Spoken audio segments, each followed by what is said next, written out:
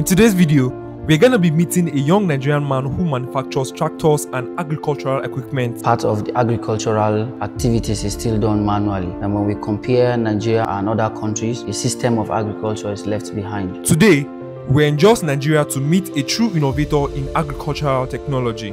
Meet Jerry Mallo, a visionary engineer changing farming with a homegrown solution. I grew up in a farming society. I was always on the farm. So I always thought about mechanized systems that could hasten the work I was doing. I kept thinking of a machine that would help me do it in one week. So just building on that from a child and coming up to seeing the need for the agricultural machineries was why um, we bettered um, Bennie Agro. From concept to creation, he's empowering local farmers and transforming the agricultural landscape. Stay tuned as we uncover his journey, the challenges he faced, and the future he's building for Nigerian agriculture. If you are new to the channel, don't forget to like, subscribe, and hit the notification bell for more inspiring stories from this channel.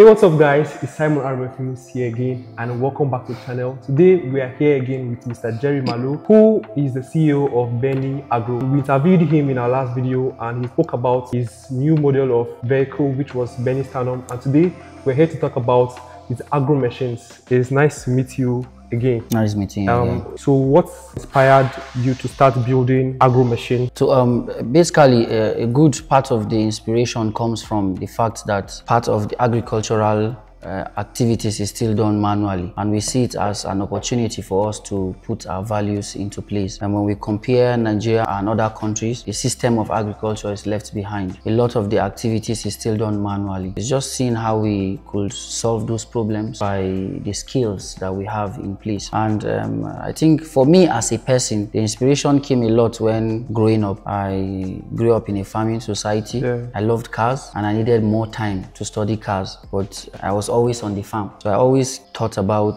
mechanized systems that could hasten the work I was doing. If On I the had farm? yeah, if I mm. had three weeks to finish the work, I, I kept thinking of a machine that would help me do it in one week. So I have the rest of the two weeks To yourself? yeah, to study about automotives and the rest. So just building on that from a child and coming up to seeing the need for the agricultural machineries was why um, we bettered um, Bennie Agro Bennie and Agro. we've been designing machines since then. Bennie Agro started before other subsidiaries. Um, automobile was the first, but Okay. um, due to the high need of finance for the automobile, we had to put it on a halt and solve problems um, so that in turn, if we now are financially stable, then look back to automobile. But basically, automobile was first before agro. Agro. Yeah, and agro became the mother of them all. Okay, can you tell us about the first machine you created? How did it feel like? So um, the first machine I did was um, a maize thresher. I had sketches, I had ideas of how I could do that, um, but I didn't have access to finance to produce it. So um, uh, it was a difficult one. This is like um, 13 years ago. 13 years ago. Yeah,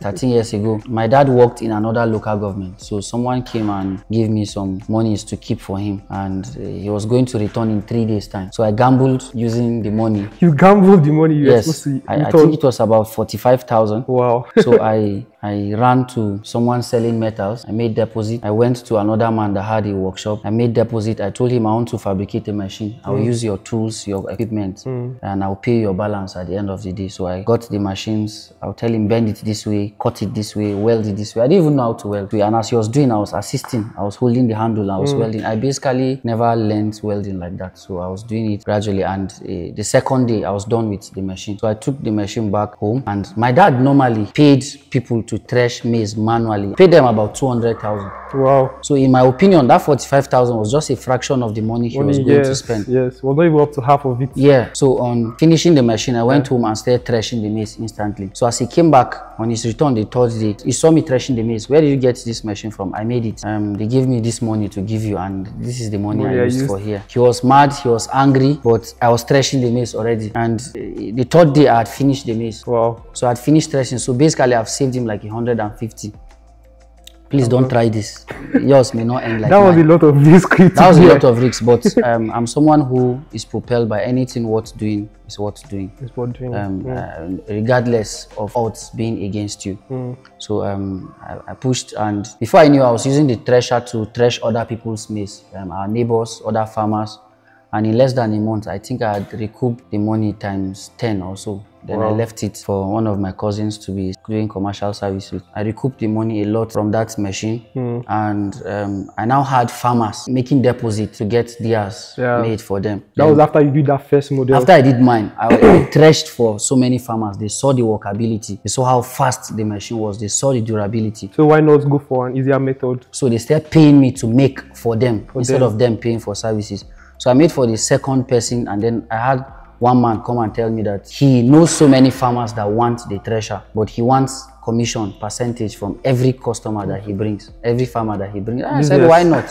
And we negotiated. And before I know, I was making the 10th one, the 11th one, and I could no longer do the work alone. So I needed more hands to join me in making them. I had the second person, the third person, and before I knew, we were more than five making hmm. these threshers.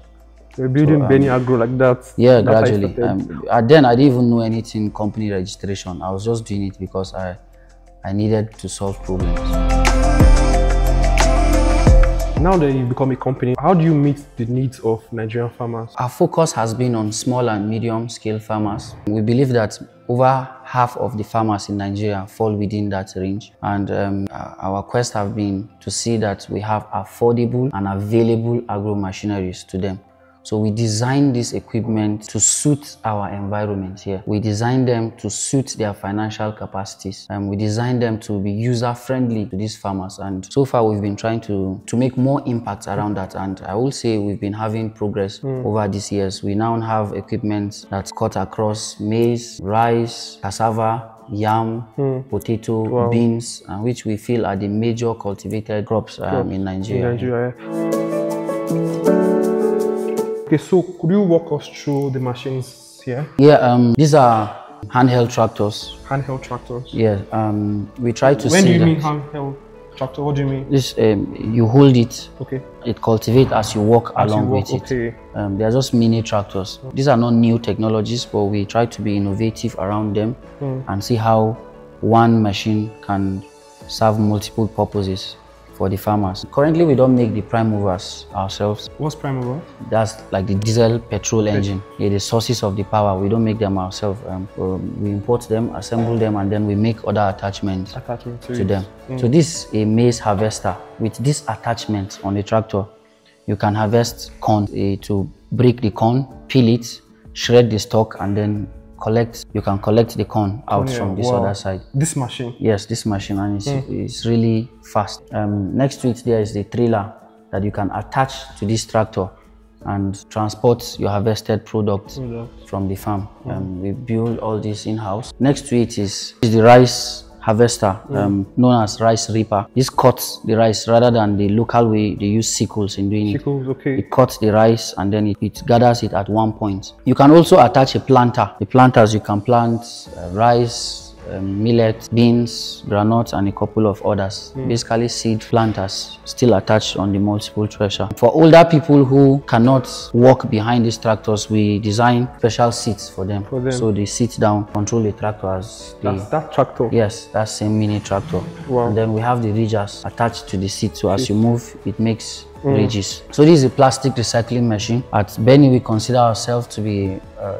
a matchstick so many lamps. The idea is to see how we motivate so many people to start putting values around the country and beyond. With this, we have people who get these plastic melting machines mixed with sand. They make interlocks, roofing sheets, and so many others. So you mix your shredded plastic and sand into this place. This is electric? Yes, this electric. And before it comes out here is melted and mixed together. It has panels where you can control, adjust the temperature to the required um, viscosity that you need. So next to it is uh, small size maize threshers. With this, you need to peel the maize first before you pour into the threshing chamber and it separates the grains from the husk and you collect your clean grains out of that. Powered by a petrol engine Okay. With low fuel consumption.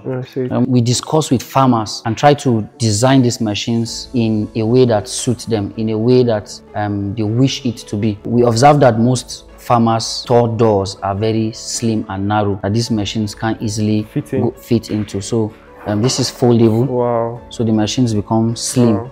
Wow. that it can easily move into.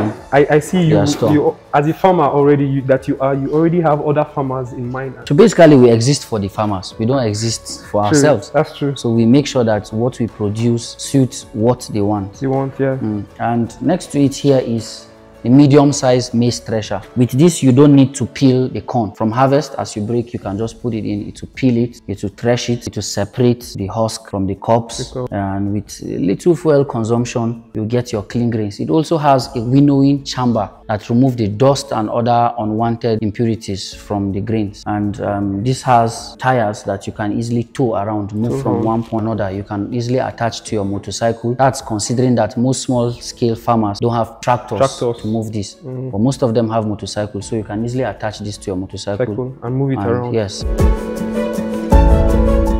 So what were the biggest challenges you faced in developing these machines? The biggest challenge was lack of work tools and equipment. I'm forced to improvise. If I needed to bend metal sheets to a particular angle, I didn't have any tool to do it. Okay. I have to just come up with innovative ideas on how to do it. If I needed lathe machine to turn shafts, I didn't have access to it. I had to travel like three hours to get access to um, to that. Another challenge was security. I was basically doing the work outside. I didn't have a proper workshop to safeguard my properties, and you had limited time to work because of the insecurity challenges there as of then. So um, before six, I need to close, and it was hard for me to meet up with demands, not working at night, and that. And yeah, finance is usually a challenge for things like this. So all those tools, equipment I needed, I needed to buy. I didn't have finances to get them. Um, I had more designs I wanted to practicalize. I didn't have access to finance to build them. A lot of times I'll have to take loans to produce samples that may not work. I may have to produce four or five times before I get it right. And those loans, I'm paying interest.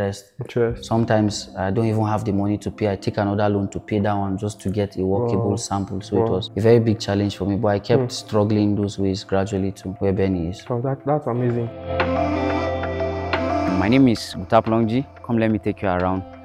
This is a multiple crop thresher and as the name implies, it is a thresher that threshes a multiple of crops that is being harvested on the farm. The likes of rice, um, beans, we have maize, um, all of them after harvest from the farm can easily pour them into the machine and it has the power to thresh it and brings out the fine grain What impact do you see your machines having in agriculture in Nigeria or in Africa? So firstly, um, we want to see how we encourage um, local products. We want to see how we have values that boost the economy at large. We want to see how agricultural activities can be encouraged. We have so many crops that are gradually going extinct because there's little or no more cultivation on those crops and it's because the process is very tedious and difficult. Um, we want to see how um, the aid of these mechanizations can, can encourage the cultivation of these crops, how these machines can help farmers save time Time. rather than spending spending less hours on the farm basically. Because time is money. You Yeah, save, you're able yeah. to make and and if you still do agriculture farming the manual way the hard way how long will you be able to do that so we want to see how they are encouraged that they will do farming as business, they will do farming as a long time achievement Now, for your customers, people that you sell to, how do you incorporate their feedback into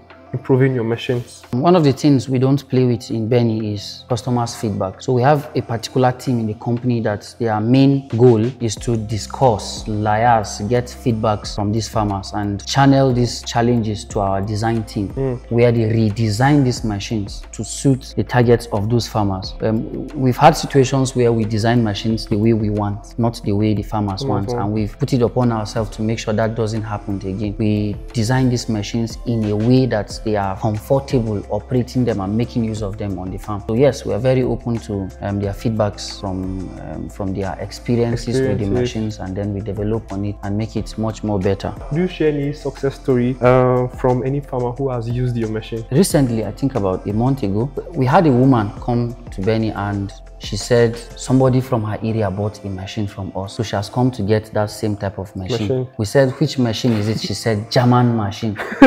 She called it German yes, machine. she called it German machine. So um, it was sweetening to hear that um, our brand is associated with Germany, which are known for quality, which are known for standard. wow. The machine wow. she wanted was just a grinding machine. Because the grinding machine was very dogged, it was durable, it was fast. The functionalities were all attained. So she she she tagged the German machine German and she machine. said she wanted exactly what that her neighbor, Her neighbor also got. So uh, it was a sweet um, encouragement for us.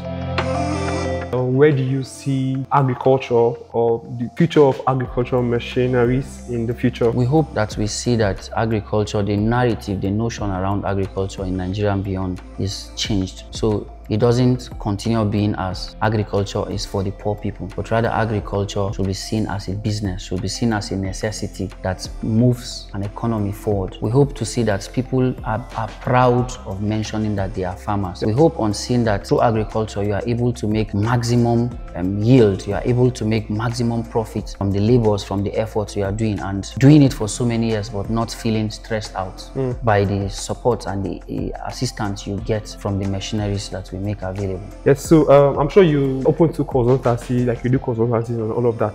Very well. Um, we, we are open to that. We advise at, at due. Um, if our attention is needed, we make ourselves available. Advice from the cultivation process to the harvesting process, even down to the processing um, stages. We provide equipment where we can. Amazing. All right. So do well to reach out to Bennie. I will drop his details down in the description below and do well to reach out to Bennie Agro Companies. And if you enjoyed this video, it's a very wonderful video. If you did, please do well to leave a comment, tell us what you learned in the video and also please subscribe and also I will drop the link to Bennie's channel down below. You can check out their videos because they make amazing videos on all of these, right? Yeah, we do. So you can check it out and also leave a thumbs up and please subscribe. We're trying to hit 10,000 subscribers soon. We'll see you in the next video.